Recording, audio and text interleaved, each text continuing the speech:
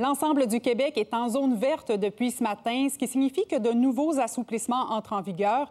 Les rassemblements de 20 personnes sont désormais permis à l'extérieur des domiciles privés.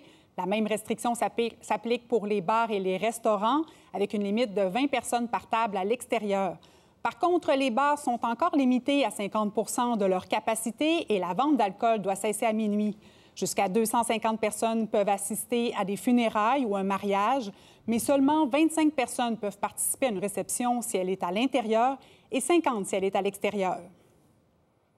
On pourrait croire que tout revient à la normale alors que le Québec entier bascule en zone verte aujourd'hui. Or, ce n'est pas tout à fait le cas pour les commerçants. J'en parle avec Jean-Guy Côté, directeur général du Conseil québécois du commerce de détail. Bonjour, Monsieur Côté. Bonjour, ça va bien? Oui. Alors, dites-nous, Québec continue de recommander qu'une seule personne par ménage se déplace en magasin, qu'on privilégie la livraison quand c'est possible.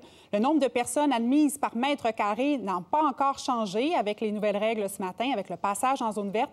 Est-ce que la santé publique doit lever toutes les, restrictions qui s'appliquent au commerce de détail, selon vous? Ben, en fait, ce qu'on observe, c'est qu'il y a certaines restrictions qui sont tout de même acceptées, nécessaires, comme le port du masque ou la présence de plexiglas ou la distanciation. Mais on reste quand même surpris que les mesures qui restreignent le nombre de personnes par mètre carré dans les, dans les magasins soient toujours en place. D'autant plus que dans d'autres industries, euh, les, les, mesures euh, plus restrictives ont été levées. Donc, nous aurions espéré que de passer de zone jaune à zone verte aurait permis d'admettre un peu plus de personnes à l'intérieur des magasins et euh, d'éviter euh, les fils comme on les constate depuis euh, quelques, depuis quelques temps là, à, la porte de nos, de nos commerçants. C'est le début de la saison estivale. Les commerces sortent de 15 mois de pandémie. Comment se portent les entreprises du commerce de détail, la distribution au Québec? Bien, les entreprises, tout dépendant des secteurs, les secteurs qui vont très, très bien. si vous vous êtes promené dans, dans des magasins de sport ou la quincaillerie, vous allez observer quand même que il y a des, gens qui le fréquentent, il y a des, les ventes se font. Il y a d'autres secteurs qui ont subi un peu plus de conséquences. Le secteur de la mode, entre autres, où mm. c'est un peu plus difficile, où la reprise commence à paraître. Euh, mais les prochains mois seront déterminants en termes de, reprise. Quelle sera la, force de cette reprise-là dans certains sous-secteurs? Donc, c'est pas équitable à tout le monde. Le commerce dans, de détail, la reprise n'est pas égale pour tous les sous-secteurs.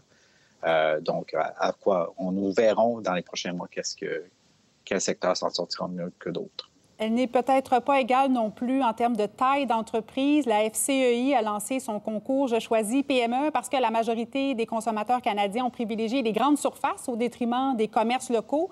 Est-ce que vous, c'est un phénomène qui vous inquiète?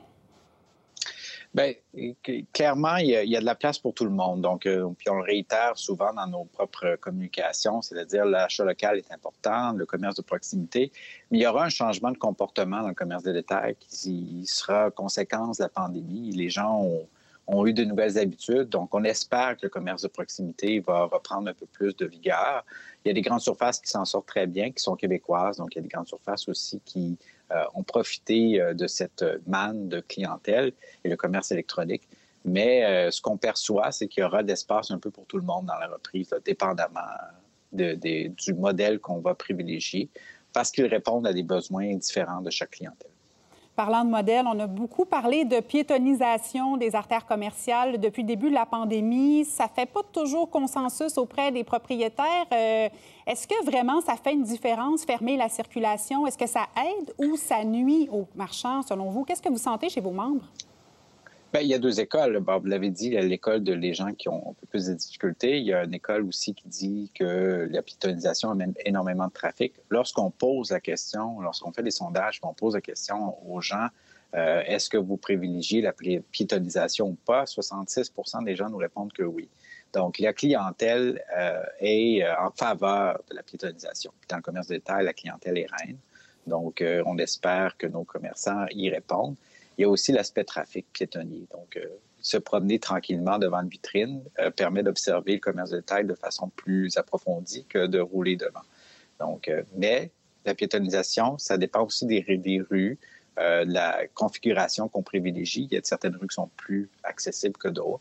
Il ne faut pas non plus nécessairement empêcher la livraison ou le stationnement pour les commerces de destination. L'autre euh, chose dont on a beaucoup discuté, c'est le magasinage en ligne. Euh, de nombreux Québécois ont pris l'habitude de magasiner en ligne durant le confinement. À quel point est-ce que vous attendez à ce que ce soit une tendance qui reste au cours des prochains mois, prochaines années? C'était une tendance qui était déjà là avant, donc ne, la pandémie a accéléré cette tendance. Et certains me, disent qu'ils ont fait cinq ans d'accélération de commerce en ligne en un an. Si vous vous promenez dans les rues euh, résidentielles, vous allez percevoir que les camions de livraison sont monnaie courante.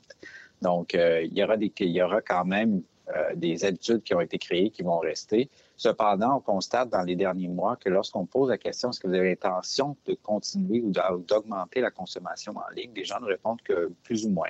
Donc, il y aura peut-être une stabilisation des proportions actuelles euh, de consommation en ligne au niveau qu'on constate actuellement.